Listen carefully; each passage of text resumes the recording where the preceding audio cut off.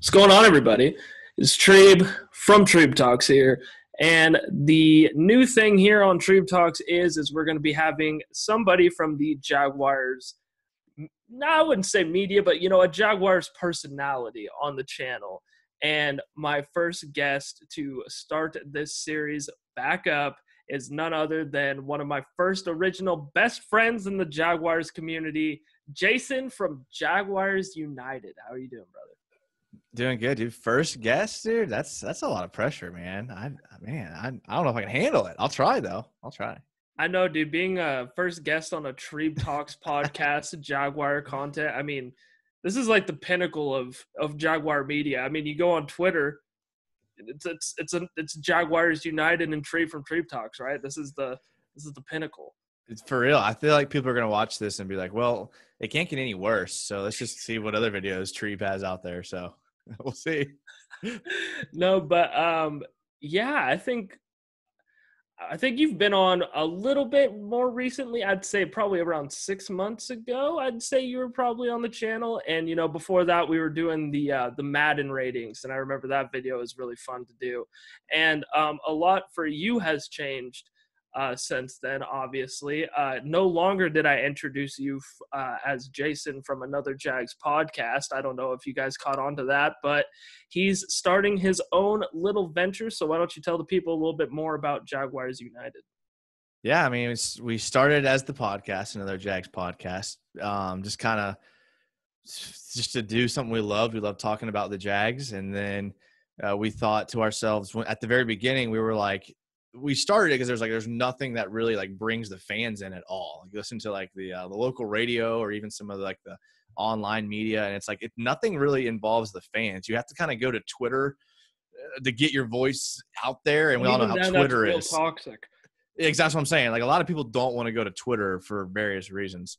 Um, so I love Twitter. I'm all over Twitter, but um, as we started doing the podcast, we noticed people wanted like a forum to kind of talk and to put their views out there. So I thought, you know what? Why not make a forum for Jags fans that's uh, wholesome and that people actually want to go to? So um, we decided to change from another Jags podcast to Jaguars United to kind of unite the fan base. And um, if you haven't been to our website, you know we have articles now. Um, our apparel stores like launching tomorrow. We're putting a forum on there like next week, so like a message board. Um, so it's going to be like a, a good thing for Jags fans. I'm excited to put some stuff out there. So was this kind of your ideal? Obviously, you said you wanted something to bring the fans in, kind of involve the fans, but did you really think that this was going to branch out from the podcast to a website to apparel to all this things, or did was it just kind of stroke of luck that this happened? Um, I think it was just we, like we said, like I said, we wanted to bring the fans into the conversation, and when we did that, we noticed like a huge swell of support from fans because that's what they want so this, the support was pretty overwhelming um, to the point where people were kind of like wanting us to do it and we're asking for it. So we thought, you know what, let's just keep going with it. You know, it's, it's working. Yeah. So um, that's just what we're going to keep doing. And uh, we love the Jags fan base. Um, it gets a pretty interesting reputation on Twitter and things like that. Um, yeah. But you know, sometimes Jags fans just want to talk about Jags and not be, you know, bullied. You know, that sometimes that's all they want. Yeah, sometimes sometimes Jags Twitter just just likes to be the bully. Like uh most recently, I don't know if you've seen the uh the whole thread and the whole exchange of that Buccaneers fan that said he was the owner of Jags Twitter and then he ended up getting bullied to deactivate his account. Did you see that?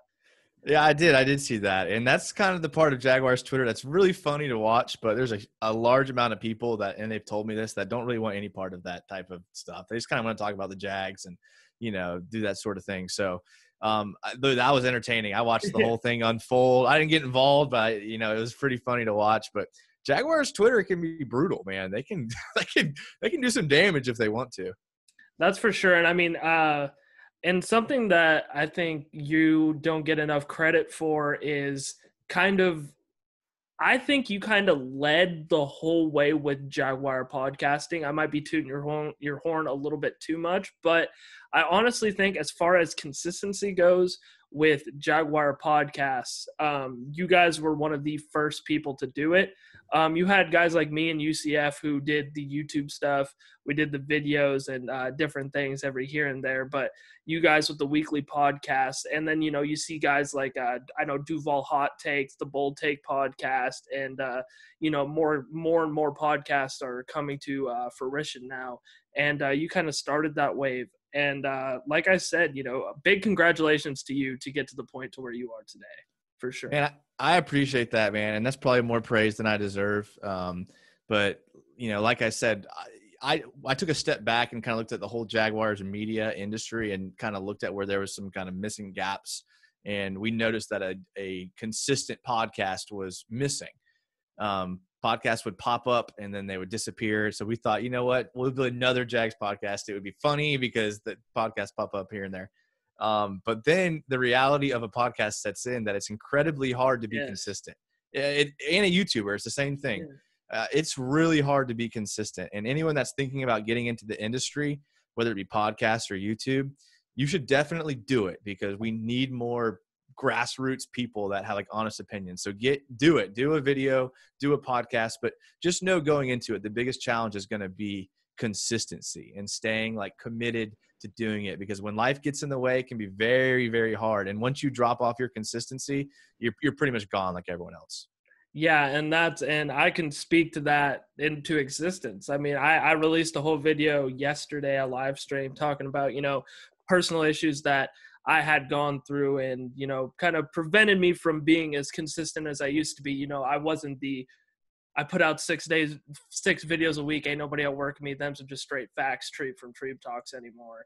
And you know, now we're getting back to that grind. And again, uh, really happy to have Jason here from again Jaguars United, formerly as another Jags podcast. And you know, you've touched a lot on uh, local media and as far as you know the local jags coverage and how they don't really involve the fans and you know things of that nature what do you think it is about podcasts, about YouTube, that more fans are drawn to that than say, you know, a guy like Tony Boselli, who's you know, obviously a front runner to go to Canton someday, has an expert analysis, but they'd rather listen to a guy like UCF Jaguar, a guy like you, a guy like me. What do you think it is about that fan's perspective that it's more interesting to listen to?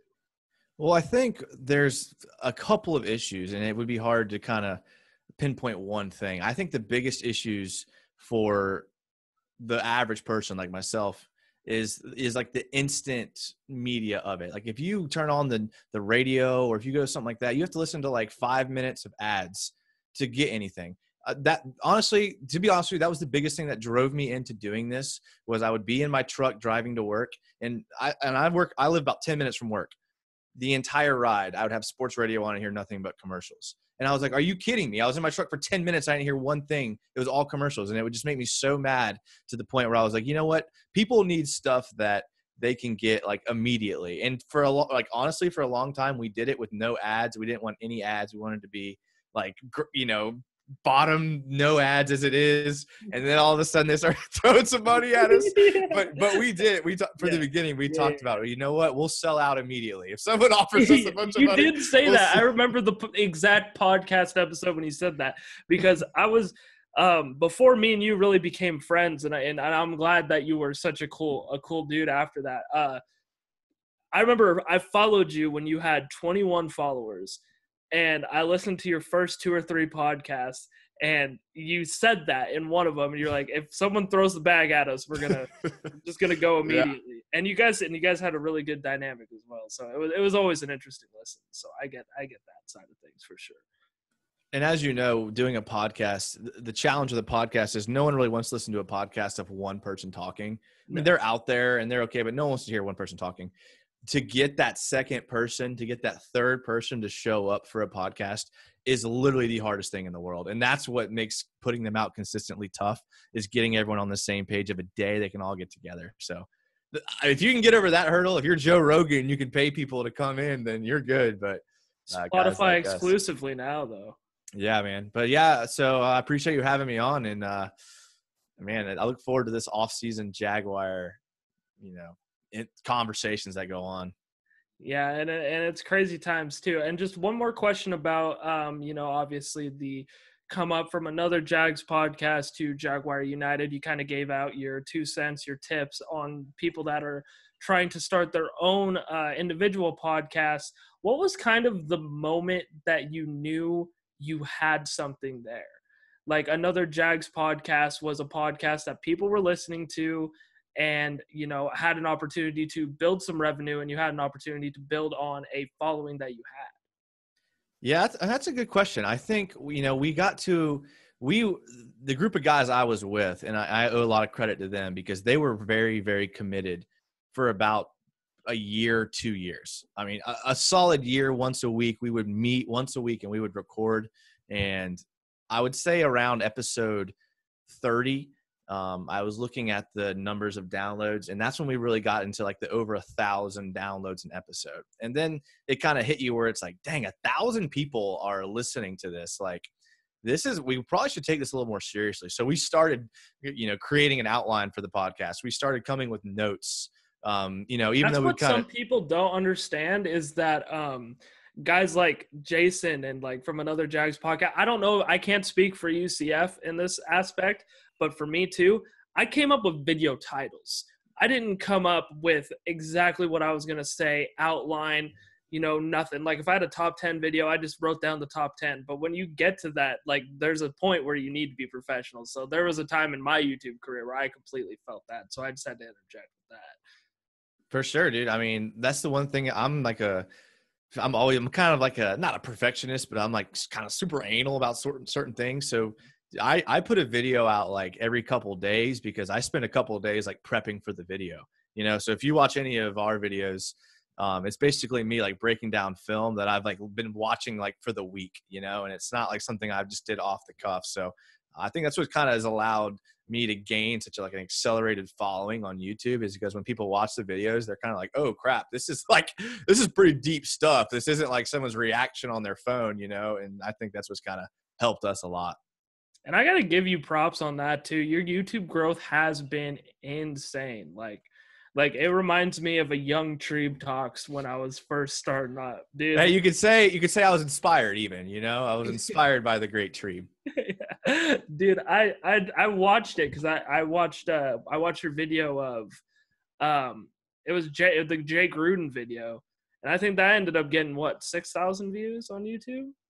I I haven't checked it. It's, I mean, it, it's it's pretty. I mean, every time I check it, it's like it's popping off. Yeah, and and like it's a good it's a great concept for the video and you put in and and you know what the funniest thing about this is cuz it's the funniest thing about you as a person too is you did not expect to take this seriously at all and you don't take a lot of things seriously at all Yeah. but here you are like film study breaking down everything and now you're you're kind of the professional in the in in the industry sort of obviously not like a hundred percent Right. but I don't work for NFL Network yet, but Yeah, yeah, yeah, yeah, what. But, like- I honestly like uh it's you know very few people get to catch me off of the recording, and I'm a very fun-loving guy, you know. Yeah. So it's uh sometimes that's when we, watch another Jags podcast one through thirty, and like that's that's that's the Jason.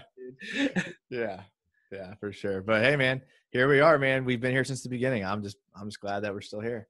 Yeah. Treeb and Jason, you always know it's going to be a great video when we get together. Not to toot our own horns, but we probably. I'll toot our own horns, man. Are you kidding me? We're the best. I you can go anywhere. If you, you can go anywhere to hear the same take over and over and over again. But you want some originality and some creativity, you know where to go. Yeah, you want you want two people that just feed off of each other better than anybody in the whole community. like I mean, fucking, look no further than The only the only show better than us two would be you and your ex girlfriend that when you did your YouTube videos when you both would make your score predictions. oh yeah. hey, you know this is that's the only that's the only dynamic I see working better than this one. Dude, that's what I'm saying. I mean, fuck. I mean, fuck. I mean, like in a dating sense, me and you've been together now for about two or three full seasons. That's right, man. Hey, sometimes it's, sometimes there's just sparks, you know. Yeah, dude. And there, that's another thing too. Like, uh, I looked back at it the other day, like just on one random night, I don't even know what inspired me to do it, but I was looking at like our own like our old old messages like when I first messaged you. And it was just weird. Like me and you just like fucking clicked like right off the bat. Like hey, you know, that's how it goes, man. That's how it goes. Goon squad, really. It's just the personalities click and and and and it's rare for me to like I get excited anytime I just I meet a Jags fan because you know living in Idaho, I don't live in the Florida area. I don't just run into Jags fans on the daily, so I think that helped a lot. Just running into a, a Jags fan, and and like we talked about earlier too. I mean, fucking a the the fan base that it just is everywhere. Like and, Yeah, and it's a, it's a small group total, but like people are everywhere. Like you get like Idaho, the UK, like I- Patrick Jackson. I already know you're watching this. I don't even need to shout you out. I know you're watching it. My dog. Yeah, and he's like our biggest fan. We were talking about that earlier before we were. I got I, I got a shirt going coming going out to P Jack. P Jack P Jack's on the list of free apparel. That's where P Jack is at. Did who you you got? You got somebody doing your apparel? Uh yeah, I mean I got a um I got a guy who uh, a guy I actually have been friends with for a long time. He's got a t-shirt printing company. Oh, they make really? t-shirts and so he was I was able to get a really good deal. I mean, you're basically getting I mean our shirts you can get our shirts for like uh 14 bucks. You can get a you can get a tank top for like 15 bucks and uh it just says Jags United on it. And it's funny cuz you were talking about like you don't live in Idaho, you don't live in Jackson or you don't live in Jacksonville. Whenever I wear our shirt out, like I'm always like, "Oh man, people are going to come talk to me about the Jags." because every time they come and talk about the Jags, it's just like always the weirdest person ever, and they have the most weirdest take, and I'm like, yeah, man, like that's Isn't an that interesting point of view. That's the weirdest part about being like a personality. I Yeah. think I think that's the weirdest part because people will come up to you like you should see some of my DMs sometimes. people saying like, "Hear me out. We signed Blake Bortles back. Competes with Gardner, takes the job. We go 9 and 7, seventh seed." And it's like, "What? Why is Yeah, this it's- so specific?" it's insane. Like they'll come up to you and they'll just be like, "Yeah, man, I just can't stand Mike Mularkey, man. He's just running the ball into the into the dirt and doesn't ever throw the ball. Doesn't let Gardner throw it." I'm like, "You realize Mike Mularkey's not hasn't been the coach since like 2011, right?" And like, and and, it, it's just like, okay, but you know, look, we're, we're for the people, so we'll be like, I'll be like, yeah, man, I'll let them talk and let them hear their point of view, and uh, you know, what's good is a lot, there's a lot of passion out there. I was actually looking at the the uh, the attendance records for teams, and the Jags were 22nd. That's pretty good. Like in a league of 32 for like Jacksonville, like uh, you know, they're the For the smallest market. size, Yeah, they're the smallest market in the NFL. I mean, they're down there in market size, and they're 22nd on attendance. And the team was terrible. Like the team was horrible, awful, nothing to watch, and we're 22nd. That actually says a lot about Jacksonville, and that's why we have some of the most passionate fans for sure. and and that's where I kind of want to start things off and start things uh, with this conversation. Um, something that I never get tired of talking about is the Jaguars quarterback Gardner Minshew. Now, Gardner Minshew met with the local media, another group that we were talking about earlier, um, today, and he had some he had some things. And when Gardner talks to the media, he he has it together. He Oh, yeah.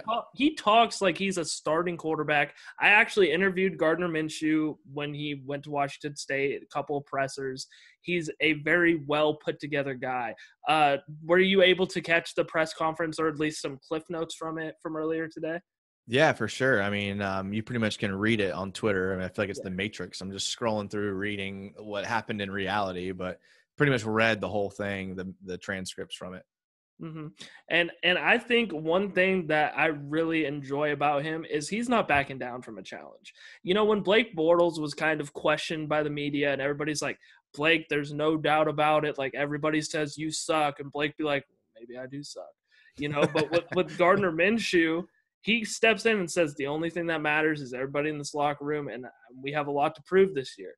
Um, what are your expectations? What are your thoughts of Gardner Minshew heading into the 2020 campaign so far?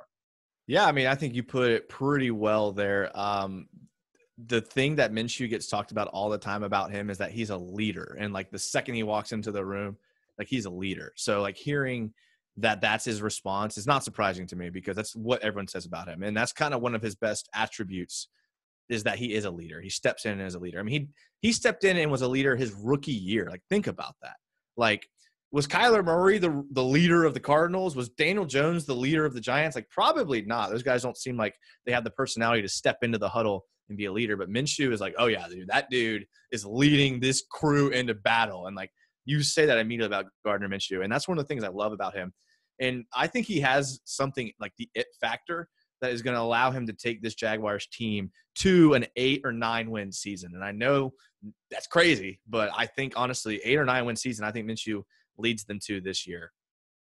So one thing that you you were talking about is you know his leadership ability, and you know he's the leader of the team. And you look at guys like Kyler Murray, Daniel Jones; those aren't the leaders of the team because you got guys like Saquon Barkley, Larry Fitzgerald, that are on the team. But Minshew DJ Chark's not a thousand yard receiver with Blake Bortles. He wasn't. And DJ, and I'm not taking anything away from DJ Chark. Don't take that the wrong way. But Gardner Minshew comes in there. There's a thousand yard receiver in DJ Chark, and he's leading the team and he's always had that kind of chip on his shoulder. As you know, if you just read my Twitter bio, I was a Gardner Minshew fan before it was cool. You go into Washington State, he had the, almost the exact same situation. He wasn't really supposed to be the starting quarterback. Tyler Hilinski, the guy that was going to be the quarterback, uh, ended up committing suicide and led Washington State to its best regular season record in program history and dominated and just electrified the fans and electrified the community. And he's doing that exact same thing in Jacksonville. And that's why I think I, I find it hard to believe that you know it, it's it's it's a tale of two different communities when you go to jaguar facebook and you go to jaguar twitter Jaguar Facebook is a very firm believer of the tank for Trevor train. There's no way, in my opinion, absolutely no way Gardner Minshew can ever, ever be that bad to the point where they are going to be in a position to draft Trevor Lawrence in 2021. What do you think? Yeah, I mean, 100%. I mean, if you we saw last year, this team could be the worst team in the NFL for three and a half quarters. It can be the worst team. They could give up 200 yards rushing to the worst running back in the league. But in the final half of the fourth quarter, Gardner Minshew is going to do what he does, and he's going to yeah. win you at least six games. And that's just the way that he's going to do it. I, I agree 100% with you. There's no way a Gardner Minshew led team is going to be the first, the worst team in the league. It's just, it's not, he's clutch. He's got the clutch gene, he's got the it factor if he doesn't win eight or nine wins, like I'm saying, there's no way he wins only four. I mean, you still got Leonard Fournette. You still have DJ Chark. You, st- I mean, you have no defense, but you can, you know, you can still win yeah. some games with that. yeah, and and you know, a lot of people immediately are going to Dave Caldwell and Shad Khan. That is, I think that is the trickiest subject you could even talk about as a Jaguar presenter as somebody in the Jaguar media because there's some like every bit of you wants to go off on these two men and say that they have depleted this franchise, they have done everything bad, but then you look back at it and you say, well, maybe there's this, and maybe there's that, and maybe there's this. Why is it so hard to talk about Shad Khan and Dave Caldwell um, as a, as it is to the team's success? I mean, think I, Dave Caldwell has gotten an unprecedented leash as far as time he's had to develop a team. I mean, yeah. no one in history has been giving like what seven years to build a team.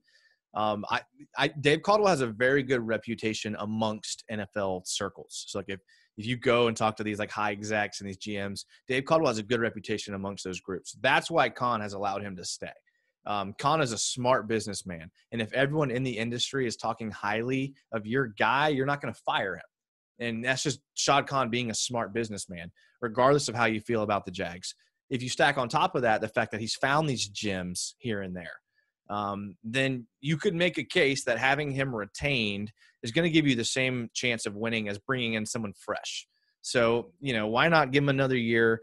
Give Minshew earned another year to prove that he could be a franchise guy. So this is it. This is it for all of them. It's all it's tough. It's a lot of weight on Minshew, and I think he can handle it. But this entire organization is resting on Gardner Minshew. If Gardner Minshew has a good year this year, everyone's retained. We're moving forward. Let's go. If Gardner Minshew has a bad year, we're cleaning house. drafting a new quarterback, and we're starting over in 2021. So let me put it to you like this. Let's say Gardner Minshew goes out and does what me and you expect him to do at the very least. Let's say he wins seven football games next year and the Jaguars are good enough to finish second, second, we'll say second in the AFC South. Because the AFC South, at least in my opinion, next year, I don't think is going to be a powerhouse division. I don't know what you think about that, but in my opinion, I don't think they're going to be a powerhouse division. Now, the Jaguars go seven and nine in the AFC South. Dave Caldwell, does that change his reputation a little bit? Does he flip it to where he can get a little bit more respect and there's a little bit more understanding to the leeway, but there's still a losing record at hand. You know, what is the extension that you're going to be giving Dave Caldwell with a Gardner Minshew led team? So I hate, and I never use this response ever. I, this is my most hated response when when I'm interviewing people, I'm talking to people, and they give me this response. I always get pissed and I pick at them. But hmm. this is the honest truth. It depends how that seven and nine looks. Okay. If Gardner Minshew is balling and the defense can't stop anybody, I think we have something. And the defense gets older, we draft some defensive players, then okay, we're okay, we're good to go. If we're like barely winning games, Minshew plays horrible, you know, uh, the backup quarterback comes in and wins three or four games, then then that's obviously a rebuild. So, it, like I said, it it would be hard for me to draw a line in the sand as far as wins and losses because it depends on how it looks and I think the looking deciding factor is going to be how well these newest players play, which is tough yeah. for a GM. But that's, um, I think, because Khan's a businessman. Like I said, he's going to evaluate that and then he's going to be like, all right, you're either, we're moving the direction we want to go or we're not. Yeah, exactly. And, you know, we talk about Dave Caldwell getting this long leash to really build this team, seven years, however long it's been. Now we flip the switch to, to uh, Doug Marrone. Doug Marrone has also been kind of given this long leash, but it seems like Jaguar fans aren't as hard on Doug Marrone. Because I feel I, I feel like when you look at Doug Marrone coach a football game, he looks like he ages 60 years during the football game. He does not look like he is having a good time coaching those guys out there. Um, as far as Doug Marrone goes, I think Doug Marrone is poised to have a bounce back season this year, especially with a guy that I know you like and a guy I know is going to translate well. And we're going to talk about him more and more as this podcast goes along. But with Jay Gruden and Ben McAdoo, too. Ben McAdoo doesn't get talked about as much as a quarterback coach, but I really like that signing as well. Um, now that we've talked about Shad Khan, we've talked about Dave Caldwell. Um, you know, what is Doug, where does Doug Marrone stand with the seven and nine? Is this a Jason Garrett situation where he's going to be sticking around if this team is mediocre to average, or is it a situation where you need to find your guy now? There's no point in keeping Doug around, or are you going to go back to that answer of it depends on how it looks? Yeah, so uh, that's a tough question because what a coach is asked to do is to be the CEO of an organization. Um, so there's things that you can do as the CEO of an organization um, that doesn't translate to wins, but that's good. And so what I mean by that is Doug Marrone isn't one of these guys who like Jay Gruden or these guys who called their own plays, right? Or who was very, very aggressive in the play calling and the scheme. Doug Marrone is one of those coaches that's in the category of what a typical special teams coach would look like when they get a head coaching job it's very just like all right look i'm gonna manage the timeouts i'm gonna manage the the replays i'm gonna manage the when we go for it on fourth down when we don't i'm gonna manage and i think he does a good job at those like. things exactly and, and that's the problem is he, he is very good at those things but he doesn't get wins so he's kind of in that bubble where it's like when everyone gets the boot or if everyone gets the boot he's going to be lumped in but Doug Marrone's a great guy, but he doesn't move the needle for the team very much. Like, for example, I think Jay Gruden is a bigger part of the Jaguars' wins and losses than Doug Marrone is. Mm-hmm. And that's just because Jay Gruden's calling plays for the offense and Doug Marrone's like calling timeouts. So, yeah, there's a lot that comes with being a head coach, but um, I, I think he's just kind of lumped into the organization. He doesn't really move the needle that much for me. So, and uh, that's one person and one thing I really want to talk to you about is Jay Gruden mostly because I was having a conversation with Fitz the other day for all my loyal uh, Crewcast listeners. Uh, you'll know who that is, my best friend of 10 years. And we got into a little bit of a heated debate the other day. He said um, Jay Gruden is a terrible coach. and that, you know, what did he do in Washington? He did absolutely nothing. Oh, and, yeah. you know, you know what I did? I sent him right over to Jaguars United. You said, "Watch this, I'll change your mind." yeah, exactly. and I showed him that, and it kind of changed his mind a little bit. You know, um, what is it? Because I wasn't really buying into Jay Gruden until I, and this is like this is me patting you on the back. This is me patting you on the back. That's what we up, do. straight up, dude. Because I didn't know too much about Jay Gruden, but when I when I like you know, learned about what he was and who he is as a coach, you know, I really like the addition with him, especially with a young quarterback like Gardner Minshew. So for those people that are watching on Treeb Talks that aren't subscribed to Jaguars United, which you should be, uh, tell everybody why they should be excited about Jay Gruden as the offensive coordinator. Treeb, I've always kept it real with you when I'm on your show. Um, I love your channel because you kind of get the real me. And I'll be honest with you, um, I do kind of side with the more optimistic side on my channel. Um, I'm an optimistic guy. I live my life that way. That's just that's just what I do. When I made the video, I wanted to highlight the good things that he did, which I did.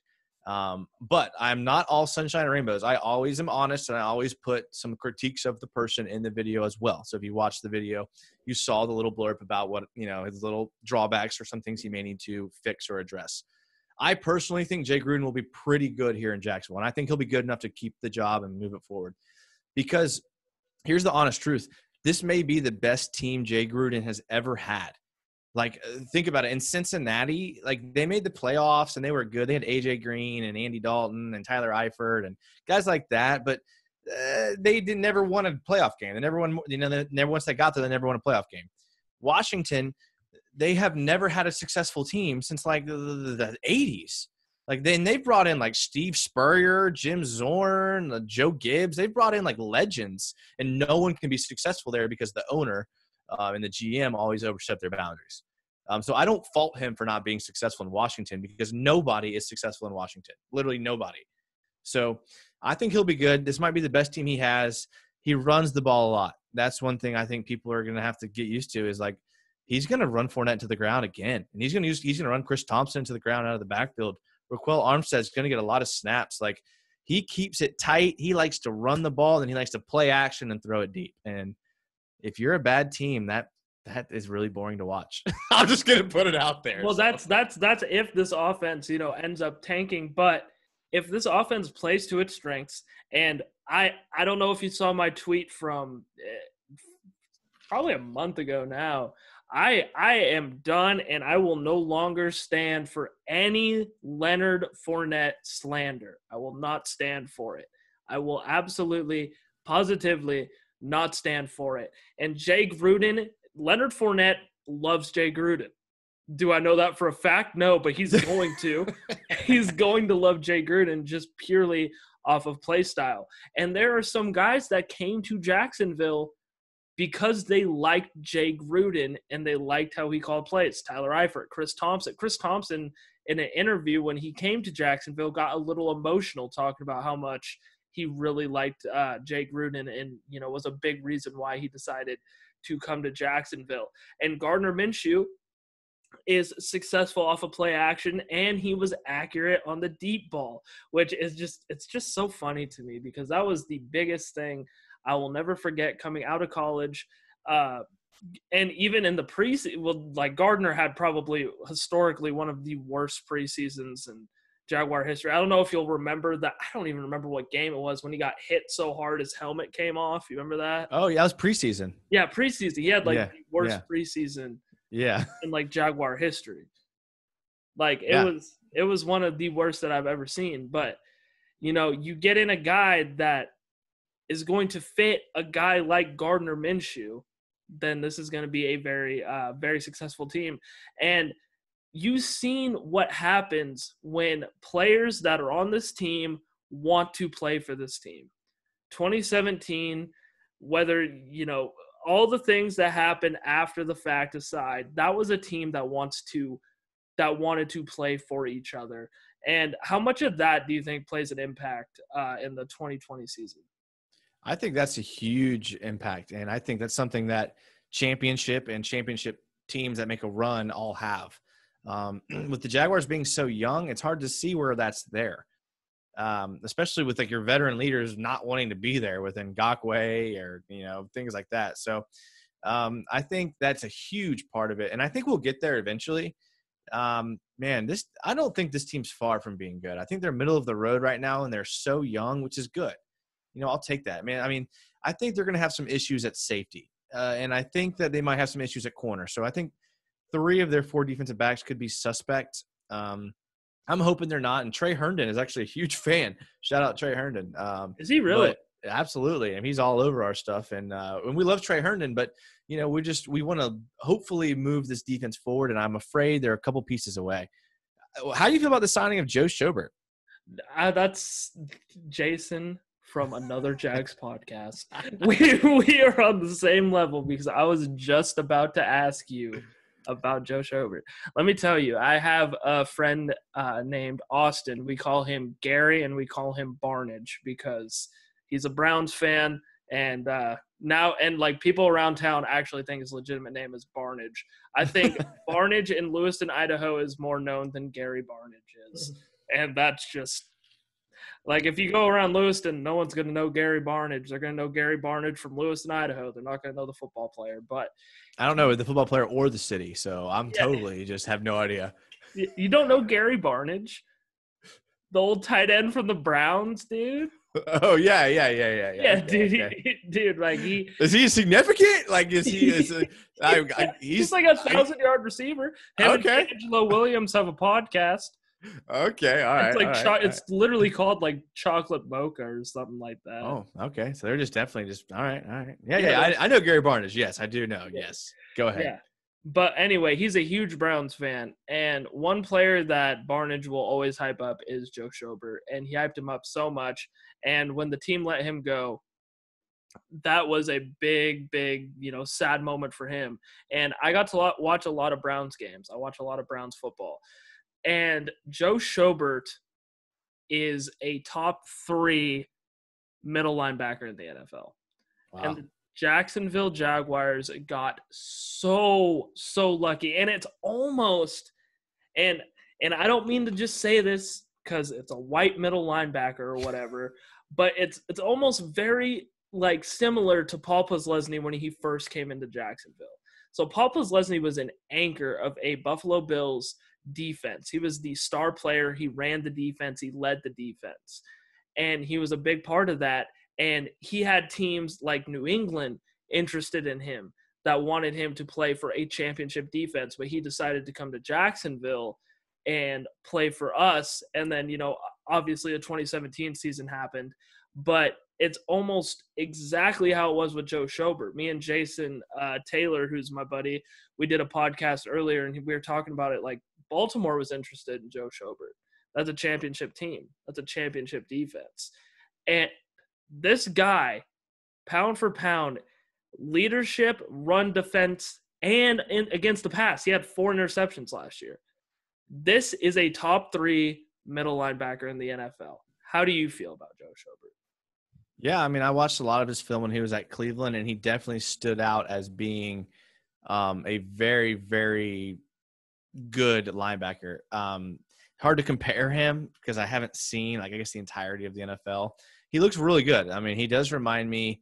I mean, he's he's more athletic than Puz. I mean, yeah. they're both white, but I mean, Schobert is like really really athletic. A lot of people like point to his like coverage skills as being his strength, and they are. Yeah, the four picks, yeah. For for a middle linebacker, they they really are, but it's nothing that's gonna like like like when I went back and watched his film, like he he like would just drop in coverage and the guy would catch the ball behind him and he would just make the tackle.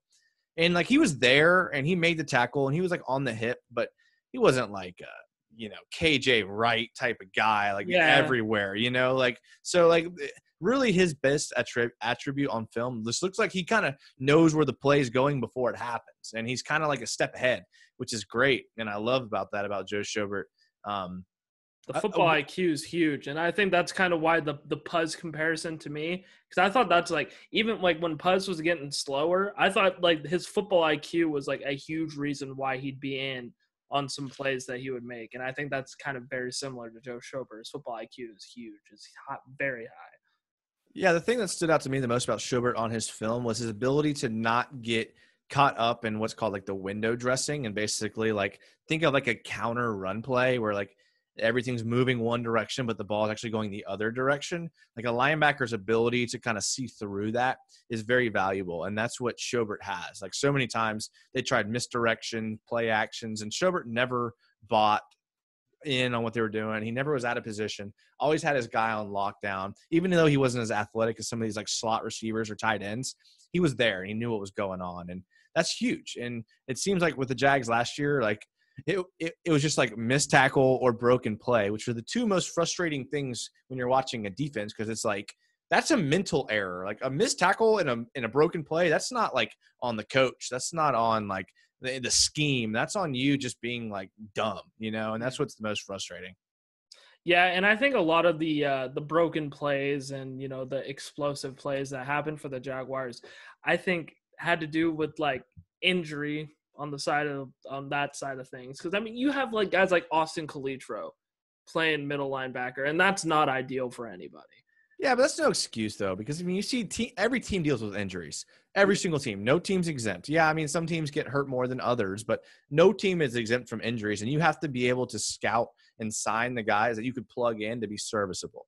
And the Jags didn't do that last year.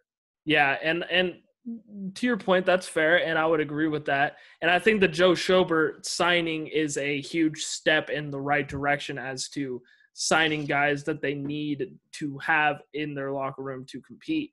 Um, but to that point as well, I don't think they really did a good enough job doing that with a position that was a very glaring need in my eyes, and that's a safety position. I don't think they put in enough effort to improve the safety position. Not that there were, you know, some people in the draft or even really in free agency that were, you know, head over heels, like crazy, insanely great talents. But I mean, you have opportunities to make like maybe a blockbuster move, like a Jamal Adams, maybe, but they're just they're really not trying to improve that position. And you know, you brought it up earlier. You know, what what are your thoughts on the safety position? Safety is one of those positions that, um, because it's like so deprioritized as far as like on the salary cap, like if you're designating a percentage of your salary cap per position, safety is going to be like toward the bottom of the list. So yeah. because of that, on some teams, you end up with like a disgustingly bad secondary safety situation.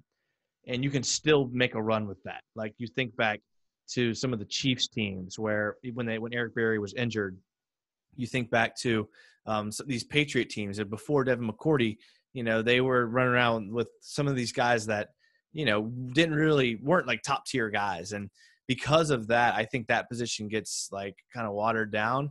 And so you're like yeah you got jarrod wilson and you got ronnie harrison and we kind of play a scheme where we're usually in just like a cover three, so you could get away with just having one guy and that can play free safety. Uh, I could see where that position becomes a concern, and it is a concern for me. But uh, the NFL now is about scoring points, and you have to be able to out, you have to be able to put 35 on a team. Like that's you get to the first round of the playoffs or you get to the Super Bowl. If you can't put 35 on the team, you're not going to win. And I think that's where the NFL is moving. And so it's like, okay, the safety position isn't going to help us put 35 on the board. Um, so let's just kind of get a guy in the cheapest possible way we can. I would agree with that for sure. Now let's let's keep talking about the secondary and let's talk about a guy that is no longer on the Jacksonville Jaguars, a guy who says he is not worried about any money whatsoever, and that is, of course, Jalen Ramsey. And Jalen Ramsey, by saying he did not care about the money, was a very bold thing to say after showing up in the Brinks truck to training camp literally a season prior. Um, what are your thoughts on Jalen Ramsey's contract situation in Los Angeles? I know obviously it's not a Jags conversation anymore, but do you think he's in line to become the highest paid corner in NFL history? Um, I think that just just for some like back knowledge, some side story ness. Yeah, yeah, yeah. yeah. Dude, Jalen Ramsey, hands down, was one of my favorite athletes of all time. I loved Jalen Ramsey. I'm not a big Florida State guy, but I just loved everything about Jalen Ramsey. I own probably three or four jerseys of Jalen Ramsey. They used to be on the wall behind me, but had to take them down for obvious reasons. My Wi-Fi password is Ramsey, but the A is an at sign and the S is a money sign, right? I was all in on Jalen Ramsey. My Okay. first cat that me and my ex girlfriend got, we named it Ramsey. I, Yeah, Ramsey stung the Jaguar heart more than any other player in Jaguar history. I'm thinking back when Mark Brunell got, you know, released, everyone was like, "Oh man, he was good, but uh, you know, whatever." that was a When baby. when Fred Taylor got released got released and signed by the Patriots, everyone was like, "Oh, that kind of stung." Nothing stings more than Jalen Ramsey saying, "I went out of Jacksonville."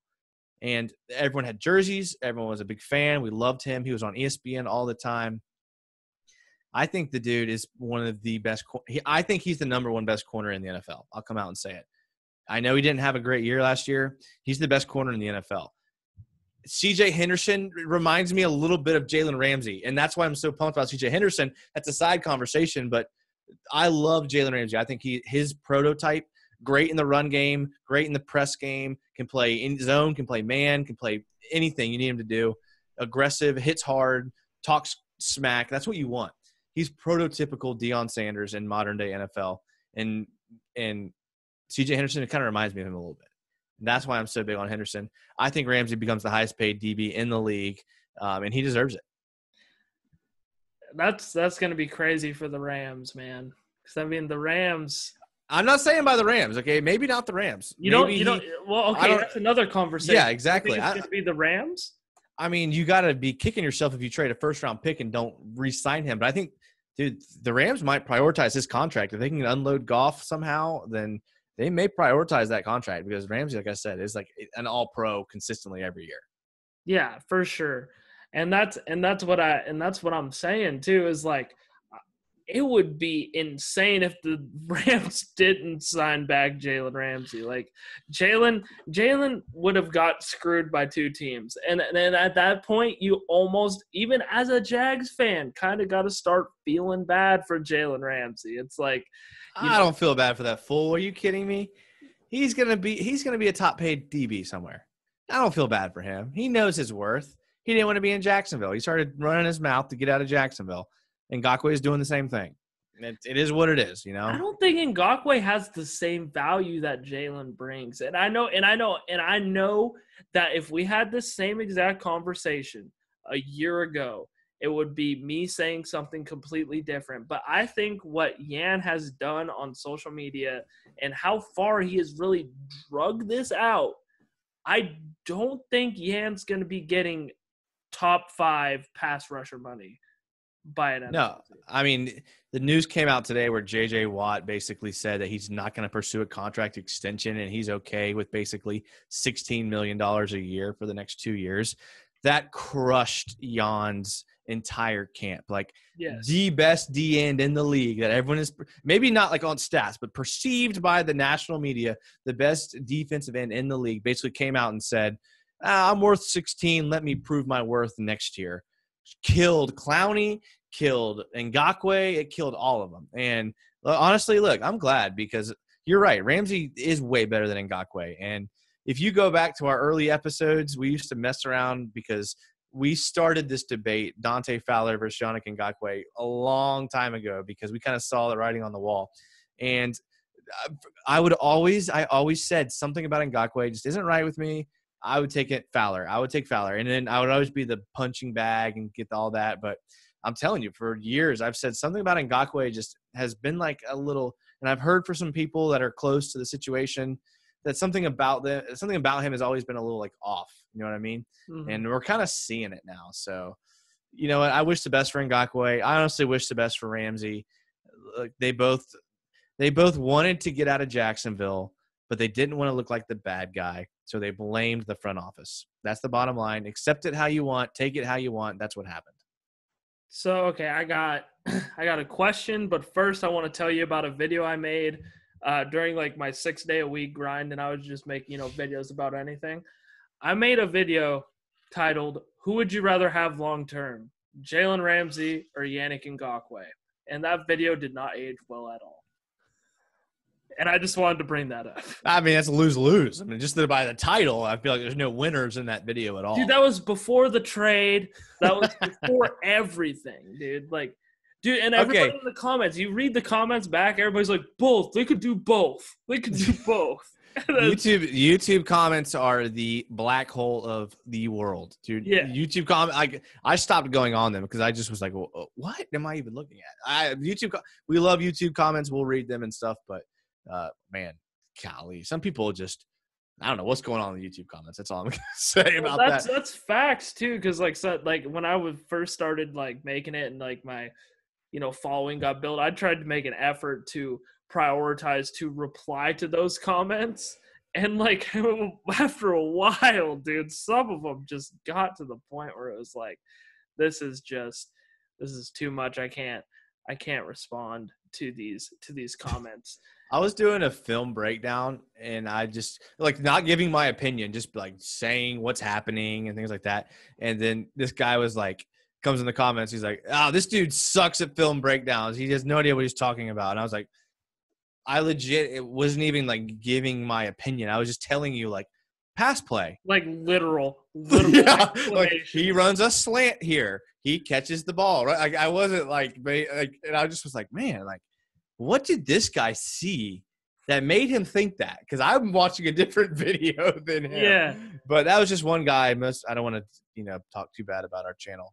Most, no, of, no, most of the comments are good, but just the one guy, I was like, "What, dude? This, this is this is why people listen to our podcast, Jason, because we get sidetracked and we start and we start talking shit about our own fans. You know what I mean? yeah, seriously. Hey, let me ask you a question. Yeah, what's up? Let me hear it. All right. Where would you put your okay? Let's take all of Jaguar fan fandom together where would you okay so the people that live in jacksonville are pretty like loud and vocal mm-hmm. where would you on that scale where would you put the people of like london london i mean well that's the i i know one i really know one guy really well in london you were you were talking earlier about how you thought like you had more of a base in london and you may know more people in london that follow the jags but like I don't, and I know Patrick Jackson, obviously, second shout out to him, but he deserves it. And and freaking um, you know, and it's like the Jags lost those two games in London, and you didn't really hear anything from like the London community about it. And you know, so I don't I don't know. I wouldn't say that it's as comparable. I wouldn't compare it really. I would I would say that it's actually it's not not that it's comparable because obviously the city that you're in is going to be way more, but yeah. I was surprised by the amount of um, participation from the London crowd and Twitter. We had these people that were constantly asking questions and giving input and putting their opinions out there that I thought were actually really good opinions. So I kept talking about them. I kept putting them out there. And as time went on, I'm like, dude, a bunch of these guys are like from the UK. And yeah. I'm like, holy crap, like this fan base has grown. Like, like we actually have a pretty concentrated pocket in London of fans. And so like we're in Jaguars media and I've noticed from my stuff, like my London participation and interaction online is like pretty high up there. Like it's it was surprising. I'm not saying it's it's the same, but I'm saying it was like it definitely stood out. And I was like, whoa, like like what? Sh- like people aren't gonna want to hear this. this. People are not gonna want to hear this. What Shad Khan and doing is doing in London is actually might be working as far as raising the Jaguar fandom in that area. And I would say to that, you're spitting 100% facts. Like, people don't want to hear that, but it's what we said earlier. You know, Shad Khan's a businessman. That's what he is at the end of the day. And what he's doing for business, for marketing, everything in between, I think he's doing a good job too. Yeah, I mean, people are like, he doesn't know football. He doesn't claim to know football. He's not, yeah. he's not claiming to be Jerry Jones, like calling the plays. He's like, yeah, you're right. I hired Tom Coughlin because everybody in Jacksonville at the time was like, hire Tom Coughlin. He's available. He's coming exactly. off of two Dude, Super Bowls. That's that's what I don't get is like people want to hate on Tom Coughlin all you want and you can and I get it and I really do. I really do. It was shitty. I hated it too. I'll never forget I was recording a Jaguar Maven podcast with John when he got fired. And like we had to stop it and like it was I just remember that. But but like everybody wanted that. There's not a single fan in the world that was not hyped about that move.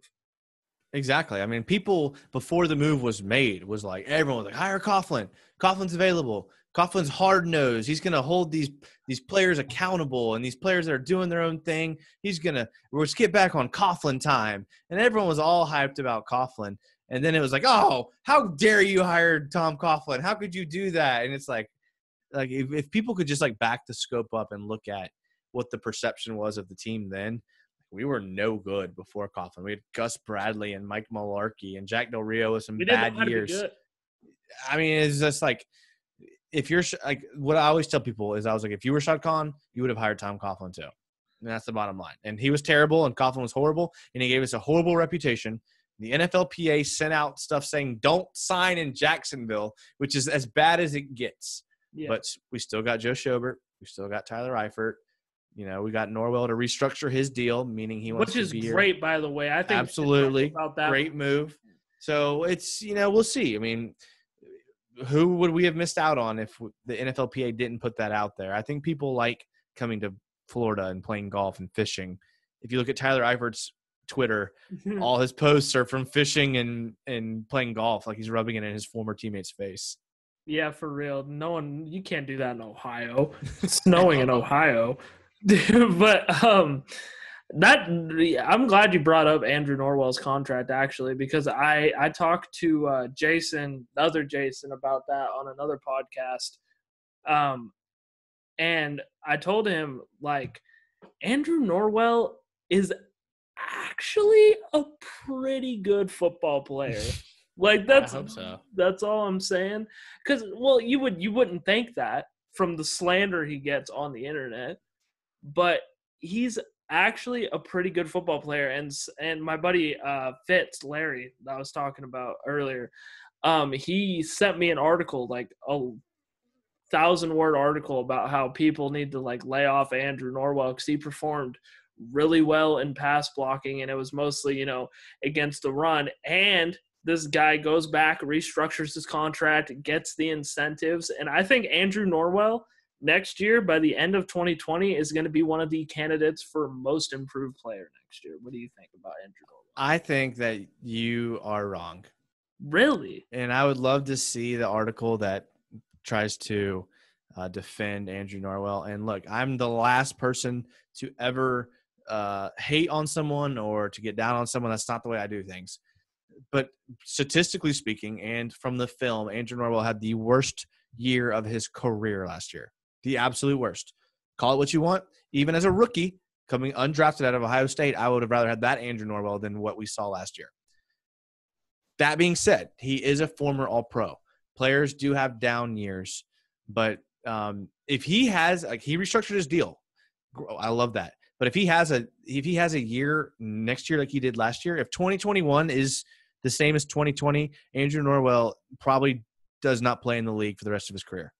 He he may get on a practice squad somewhere, but um, it, At it's that looking point, it's like, why would you want to be on? A well. Yeah. He's undrafted. His rookie year wasn't that great. He had two years where he was like all pro, and then now he just had this year. If he has another year that's like this year, he could be out of the league. And I and that's what I'm saying. well, that's what I. That's that's go, you're right. It could go either way, but yeah. it just remember, just if it goes the other way, he's probably out of the league. But the thing is, is like I still don't get.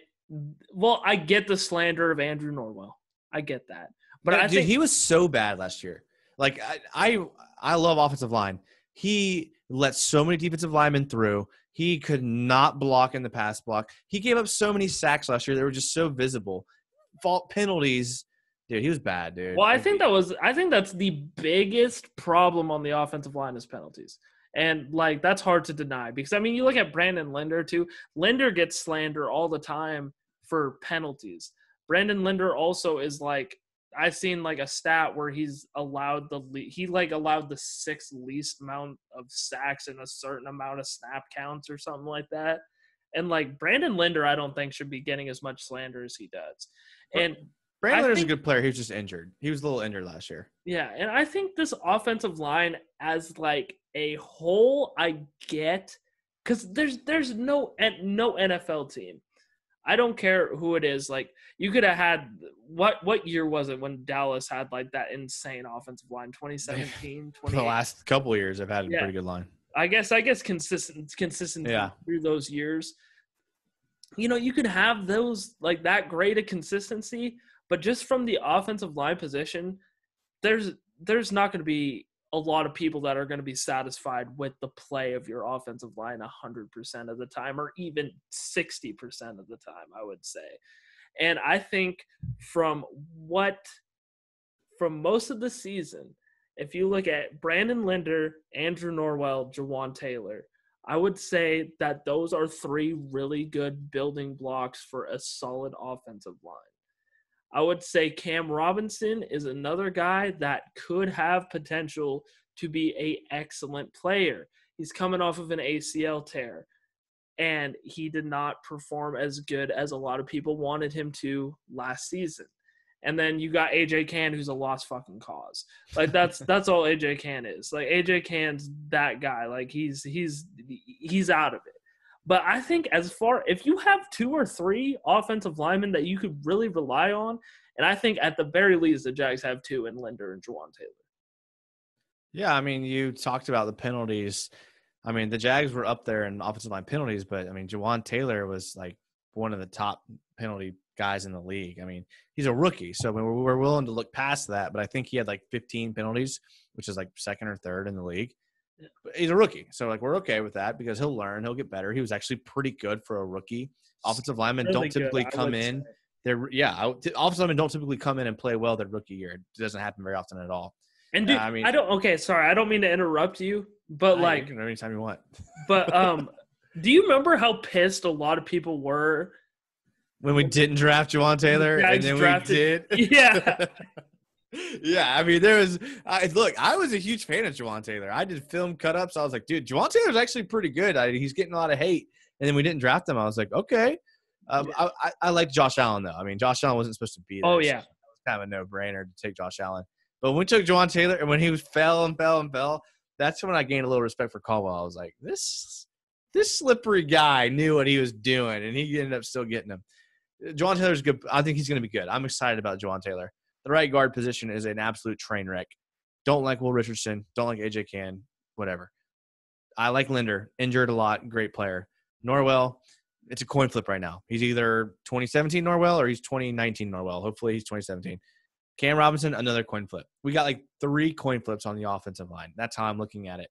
Not a great place to be, but the modern NFL offensive linemen, it's hard to be good. They don't make them like they used to, I guess would be what they would say.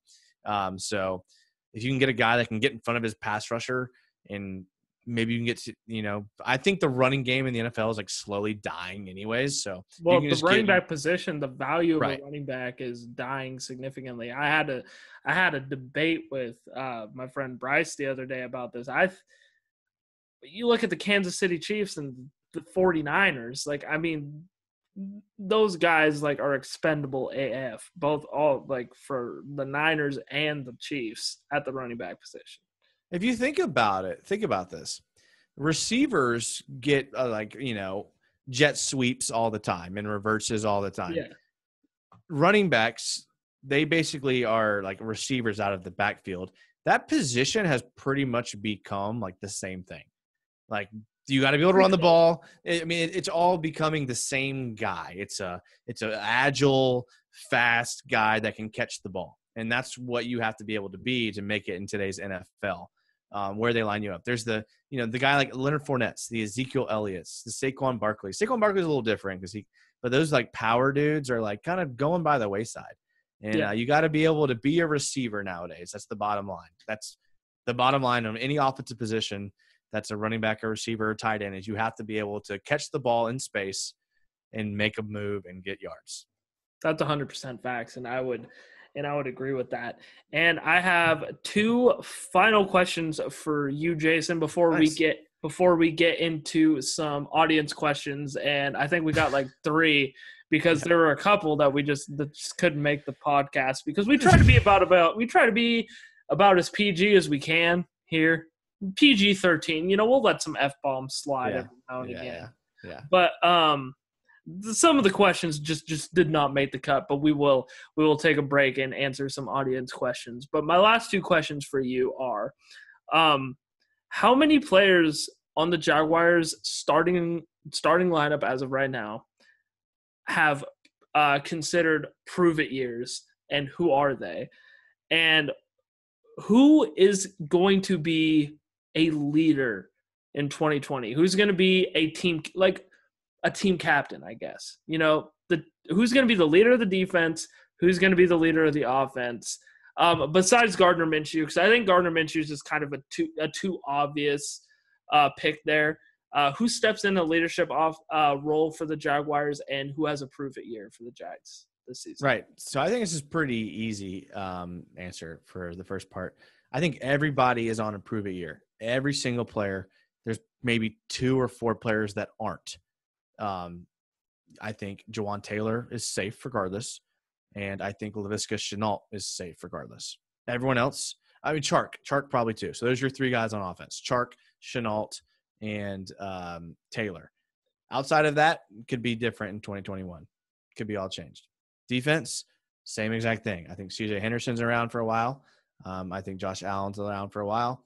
Um, and then um, K'Lavon Chaisson and then Schobert is on a two-year deal. So those four guys, and Schobert, honestly, not really. So those three, three on offense, three on defense. Everyone else is in a prove it year.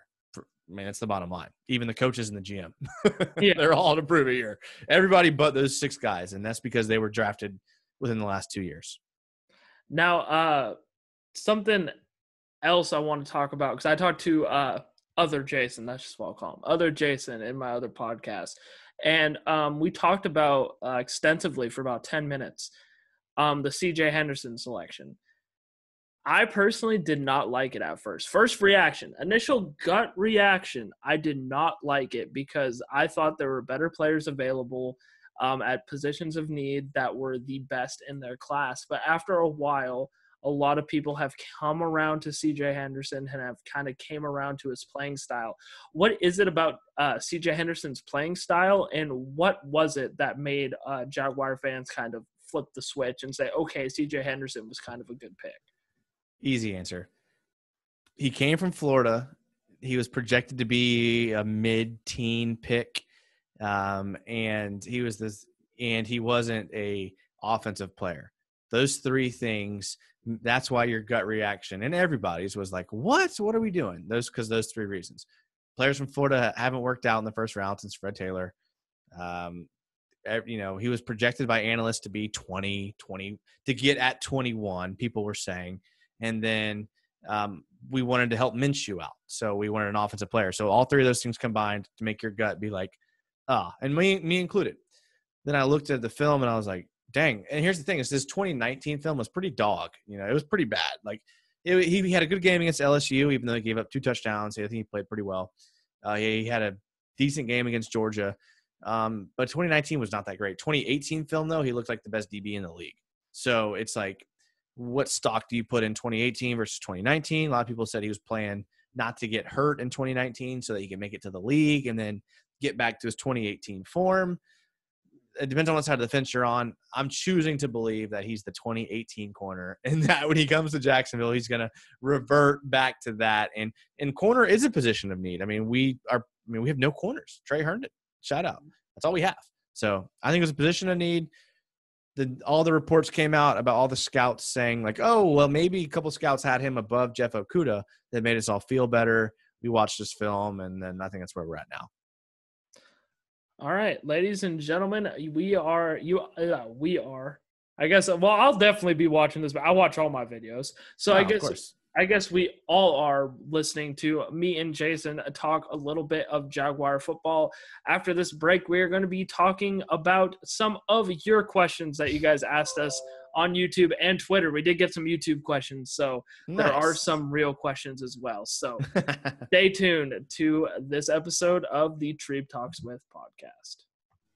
All right, we're back and we are here to answer your questions that you guys asked on Twitter, Jaguars United, and on my YouTube community post.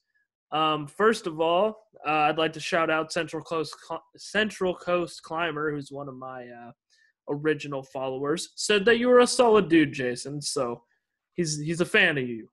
I'm glad that there's at least a couple people out there that think that. Yeah, yeah. I, it's hard to think you're a solid dude when you're like average at best. If you told my friends someone thought that of me, they would laugh. That's you. the same with me. So, so you know, you know, we're we're perfect to be doing this podcast together. So the first question on the YouTube side of things comes from Plano Jag, who is uh, one of my uh, most consistent subscribers. And it kind of goes hand in hand with the conversation we had before the break. And it is what can the Jags do the right to steer the ship right at midseason once they find out their experiment with asking the same old line to just get better fails? Jason, I'm going to let you answer that question first. Here's what's going to happen. It's going to be about week three. The Jags are going to lose. Um, they're going to be 0 3. Shad Khan's going to fire Doug Marrone. He's going to promote Jay Gruden to be the head coach. Um, Jay Gruden's going to be the head coach, and he's going to lead the team to mm, eight or nine wins. It's going to be with like half Gardner Minshew, half Josh Dobbs, and people are going to be like, you know what? If we give Jay Gruden a good quarterback, he's the future. Shad Khan promotes Jay Gruden. He's the head coach. They draft Justin Fields because they probably won't have the top pick. And then Jay Gruden will go into 2021 with Justin Fields as a quarterback. That's how they write the ship in 2021. You heard it here first. That's what's going to happen. So my realistic answer and something that I believe, I believe this. The ship's going to get steered right because the Jaguars offensive line is going to drastically improve in 2020. I mean, there's there's times uh, you know I've had you on here before where, and even me when I've been on your show, where we will recall certain takes that we had down the line that ended up being right and no one believed you. This is going to be my take. Okay. My take is is that the Jaguars offensive line is going to be a middle of the pack group. It's not going to be a offensive line that is going to be Dallas Cowboys level to be really, really elite. But Gardner Minshew's already good at improvising. He's already good at making plays happen when they're not necessarily designed to be there. So with that mixed in with an offensive line that is going to have a better season in 2020 it's going to have a really electrifying offense. And with how the offense really improves too this season is going to be with the run game. We talked about Jay Gruden. We talked about how Jay Gruden's going to dial up a lot of run plays.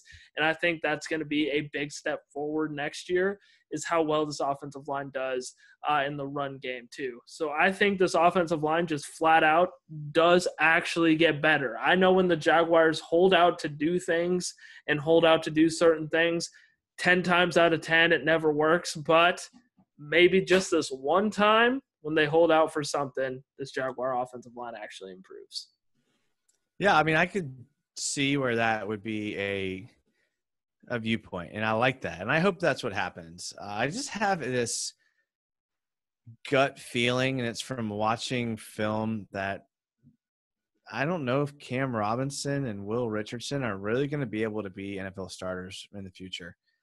I hope they are, but I just what they've shown is that they they're not, and so we're going to be depending on probably at least Robinson and probably half of Will Richardson, probably full time Will Richardson.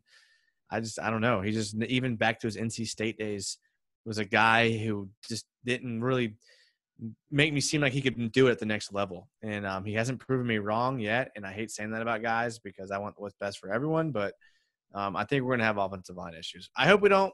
Uh, and this is me as pessimistic as I'll ever be, but that's yeah. And and I think our main issues this year is going to lie in the secondary on the defense, and I think most of the issues this year is going to be kind of a flip script, and I think a lot of it's going to be more on the defensive end with the secondary, and maybe even the defensive line. Like I mean, there's there's you know if Yannick Ngakoue plays, if Yannick Ngakoue doesn't, he probably play, won't. he probably won't. well, yeah, you know, you you know, I, I, I don't think he will. Do you Same- think he will? I really do. I have I have this whole theory that like if Yan doesn't play next year, he does nothing for himself. He does absolutely nothing for himself but damage his worth like that much more. And it's like there's no way he doesn't want to be in Jack. Uh, well, okay, there probably is a way. I don't want to say it like that, but like if he loves the game of football and he wants this to be his profession for his whole life, he's gonna have to play next year because especially if the Jags do have a season where they go really bad, two and 14, 4 and twelve, that's gonna hurt Yan. That's gonna hurt Yan significantly. I I know like Yannick is not very popular in the Jaguar community, but it, look, let's just put ourselves in his shoes right now. Like he hasn't made enough money to be set for the rest of his life. Like think about that. Like Ngakoue is considered to be one of the best players in football, and he has he he doesn't have money banked to be good the rest of his life.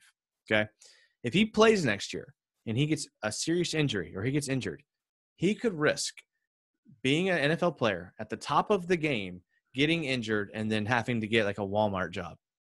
No, nothing personal. Yeah, no disrespect to the player. Walmart employees out there. The the thing about it, if he sits out this year, he could make he could say he gets one year, ten million from a team.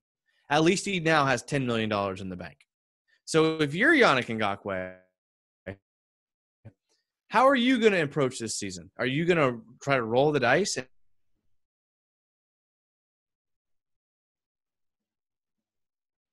and some million dollars be set like that's a you think about it. That's, that's all i'm saying. I mean if you think about it Ngakoue could sit out next year get a deal from some random team even if it's one year 10 million dollar deal at least now he has 10 million dollars in the bank. He's on his rookie third round deal his whole career like he's got to think about himself going forward. And if i'm in Ngakoue, i'm sitting out too like i'm because if you get hurt next year and you don't get a second deal you you lose that. And the rest of your life you know you think about man if i would have sat out i could one year i would have been set for life. He's thinking about himself. He's not thinking about jacksonville. And that's just the way that it goes. And players have that right and they really should. So i don't blame Ngakoue, but it is what it is All right, I, I I'd agree with that. I mean, there's definitely some truths that you brought up there. Now we're gonna go over to the Twitter side of things, and Twitter for sure definitely gave us. You know, you're gonna get a little bit of a nostalgia feel, and you're gonna get a little bit of Treeb and Jason lifetime scenarios. And I'm gonna let Jason take that away with the Twitter questions. yeah we had a question from jack prez um, on our twitter and he's at jaguars underscore jack p and uh, he's actually got an article coming for our website actually soon so Ooh, Adam boy, Yeah. And uh, he says if you had to go into a bar fight and you could pick any two Jaguar players, past or present, to be on your side, who would you pick? Right now, off the bat, and he said two. Two. Two? Okay, I'm picking Sen'Derrick Marks. Okay. Easy. Okay. Marks, dude, that's a big boy in the middle, and John Henderson. I think I think John Henderson and Sen'Derrick Marks are two of the easiest ones to say. I mean, Austen Lane, I think is cheating a little bit because he's like, you know, That yeah yeah I think so. you know that's cheating a little bit. But Sen'Derrick Marks, man, that's always a fun name to get brought up in the conversation, and you know it's just just another opportunity for me to bring up my dog Sen'Derrick Marks. So I'm gonna say Sen'Derrick Marks and John Henderson for the bar fight for sure. Okay, I'm gonna go a little th- like throwback here on mine, and um, John Henderson I think is probably the answer. And if you wouldn't have said that, I would have probably said John Henderson. But for the sake of conversation, I'm gonna pick two different ones, and um, I would have picked John Henderson. But in place of John Henderson, I'm gonna say Greg Jones. Do you remember Greg Jones? he was Oh, a yes. fullback out of. Florida State. ESPN, the magazine, did an entire article. I'm not kidding you on like his back muscles. They like called it like Greg Jones's back, and those little like Greg Jones like flexing, talking about his workout, and it was just like insane. Like the dude was a beast. He was a running back at Florida State. was really good at Florida State. Had a bunch of knee injuries. Got drafted, and he's like, you know what? I can just play fullback and blow people up, and that's what he did. He went from being like a legit, like if he wouldn't have had injuries, he would have legit been an NFL running back. Really good. He was really good at Florida State. Got injuries, changed his game to a fullback. The dude's a beast. Love him. Shout out Greg Jones. The second one, Kassim Osgood. I don't know if you remember Kassim The Osgood. special team. But Kassim Osgood was the special teams gunner that was known for like causing like fights for the team. He did it when he was with the San Diego Chargers. He did it in Jacksonville. He was the guy that on kickoffs would get pushed out of bounds and he would like elbow a dude like not in the play, just holding his helmet as he's running down the field.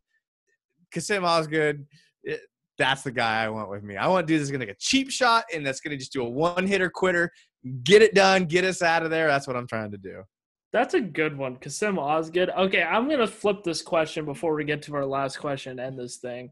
My my flipped question of this one is is who are two Jaguar players that you would least like to have your back in a back in in, in well, a, I think I think easy Blaine Gabbert is number one. yeah. The dude was scared of his shadow. I don't want that guy going with me into a fight. That's easy.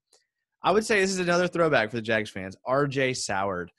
If the guy if the guy can't catch a ball aiming at him, I don't want him trying to catch any hands aiming at me. You know, I don't want I don't want any of that around me. I don't want any of that bad aim coordination around me. So those two guys just stay away. and Jalen Ramsey 'cause he's soft. Dan Ramsey is soft, although he did make. I had to say Green that to you him. because you're the you're one of the only people I know that still get defensive over Jalen. So I don't get defensive, but I mean, I wouldn't say soft. I mean, he like, got like- knocked out by AJ Green. he, I mean, he caused AJ Green to get into a fight, dude. That's next. That's 4D chess, dude. That's 4D. That is 4D chess. All right, and then what's the final question to cap things off? All right, and this question I thought was good because it kind of takes us back a little bit, just like the other one did. But um, it is which who this is from Long John Silver eight three four, and he says, "Who do you think is the most underrated Jaguar of all time?" So um, I'm gonna I'm gonna say from my time as a Jags fan, I think the correct answer to this. So me growing up as a Jags fan, I'm 21 years old currently. So I'd say prime Jags fandom for me was 2006 to now.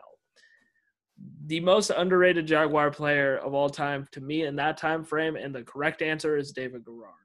I have a whole video dedicated to why David Garrard is the best quarterback in Jaguar history, and I did that out of out of boredom, out of Corona. But you know, I I think David Garrard is Uh, the, what, what's the furthest? What's the furthest game Garrard ever took the Jags to? Took Second second round of the playoffs. yeah They beat you know in 28 was 2008 or 2006 whatever it was. But he also gave you some memorable moments, though. moments though i want Yeah. championships bortles at least took you to the afc championship how can you how can you say that Garrard is better than bortles or Brunell and both of those guys took you to afc championship games I'd take I'd take a mediocre Garrard season over a terrible Bortles season.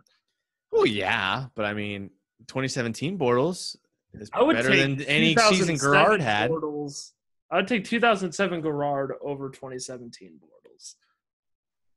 okay Is that not Okay. fair?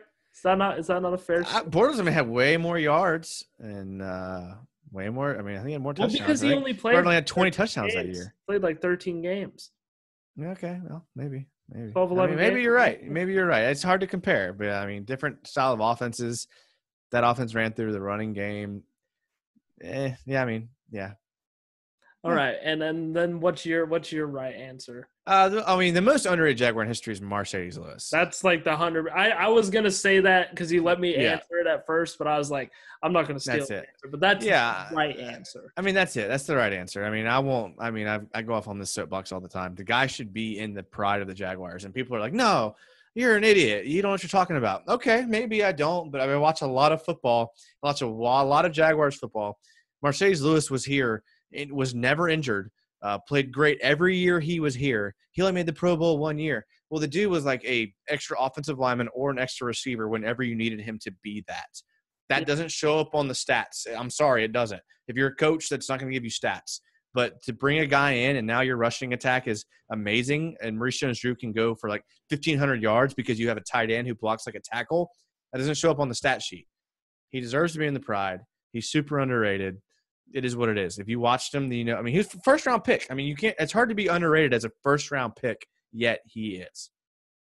Um, I think Maurice Jones-Drew. I mean, he was good, but I don't think people realize how good he was. I mean, he was at one time led the league in rushing. I mean, think about that. Think about that's like having Saquon Barkley or Ezekiel Elliott on our team right now. You would be like, let's go. We got was something. like 5'11. Yeah, exactly. Like the dude was the best at the position for a year. And um, I mean, people love him and they like him. And we could go back to the 90s and the early 2000s with guys like Tony Boselli was pretty underrated and things like that. But, uh, you know, Marcedes Lewis is the right answer. Now I'm gonna I'm just gonna say this. Right now, just say a random Jaguars name that just gives you like good feelings in your heart. Dude, honestly, man, that's I really love Austin Calitro.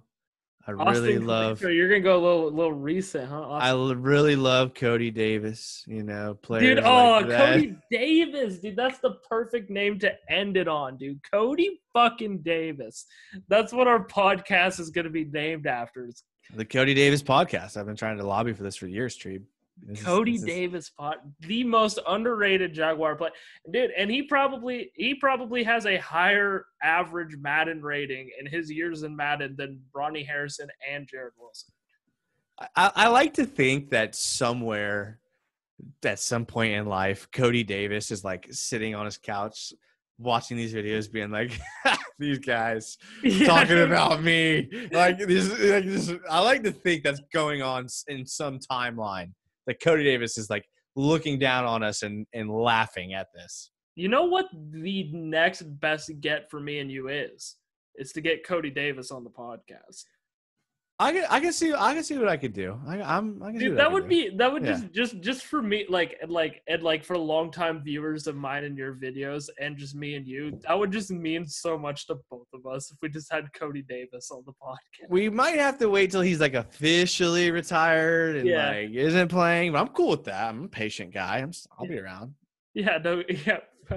When I'm in my 30s and Jason's in his 40s and we're fucking When I'm an old ass man, I got gray right here. interviewing Cody Davis. Cody Cody Davis will be on the podcast. Can't wait. deal. And then, and dude, people people are gonna be like, I've been waiting 15 years for, for you guys to get Cody Davis. If if Cody Davis sends me a jersey, I will put it in the middle of all of my videos for the rest of my life. I'll do it. I don't care what team it is. It could be like the Patriots Cody Davis jersey. It could be the Rams Cody Davis jersey. If Cody Davis sends me a jersey, it's going on the back wall forever. I hope you know as soon as this video gets done chopped up, I'm editing that up and chopping that piece up and uploading it on Tagging Cody Davis. and Instagram and tagging Cody Davis. yeah, absolutely. That's that's the go for that. Yeah. But anyway, I think that's gonna do it for uh, my time with Jason here. Jason, again, it's always great to have you on the podcast. I mean, uh, uh, this is probably this is probably like our fifth episode together, and I mean, you know, lifelong friends. So I mean, it's it's great. It's great to have you on. I always appreciate it when you come through. I, I seriously look forward to doing videos with you. Whenever we do them, I'm just like all day. I'm like, let's go. I get all I get all hyped up and pumped. So anytime you want to do some collaboration, I'm sure uh, it would be a great time. All right. Anything else you want to plug before we uh, say peace out to the people? Now, just make sure to follow Treeb, share Treeb, give him some, uh, you know, support, share him out there. I mean, he's one of the OGs out there, and he's one of the ones that's been faithful, and you got to respect that. You gotta respect respect faithfulness. Unlike me in my last relationship and my girlfriend in this relationship. Ayo! That's why people love Treatment Jason because we have fun on the podcast.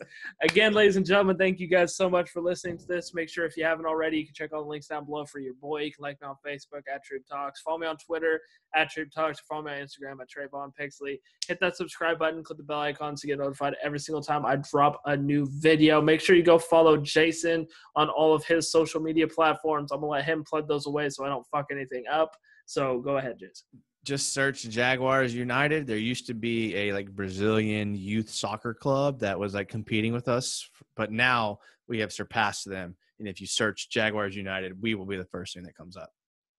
Congratulations! You beat it. It was a big milestone. We beat, beat, a, Brazilian, Brazilian youth soccer. Team. You know, it felt good. You know, just now we searched on YouTube that we come up now instead of them. It, it, it was good. It's a good feeling.